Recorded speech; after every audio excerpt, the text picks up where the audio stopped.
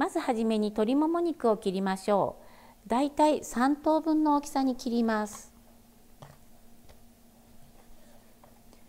そして厚みを揃えるように少し開いていきましょう。余分な油は取ってください。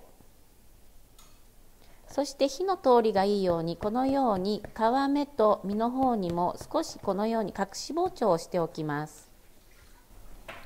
切った鶏肉に塩コショウをまんべんなくまぶしていきます。ボウルに生クリームにんにくのみじん切り粒マスタード塩コショウそしてこの水切りヨーグルトを用意してください。水切りヨーグルトはざるにペーパーを敷いて半日ほどしっかりと水気を切ってあります。このようにカッテージチーズのようになれば使っていけます。ソースができたら塩コショウをした鶏肉の水分をしっかりと拭いて加えていきます。ここが今日のポイントです。ヨーグルトも鶏肉も水分があると焼けた時水っぽくなるのでできるだけ水分は切るようにしてください。それではこのようにソースとあえたら鶏肉の皮目を上にしてのせていきます。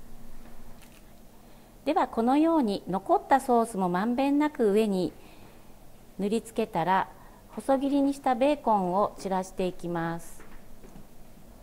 そして輪切りにしたレモン。半分に切ったトマトを散らして180度のオーブンで焼いていきます。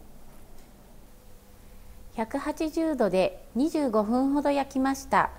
家庭のオーブンによって温度と時間は調整してください。仕上げにパセリを振って出来上がりです。大きなお肉もヨーグルトの効果で柔らかくなりレモンの酸味でさっぱりといただけます。春先にぴったりなボリュームのあるお肉料理です。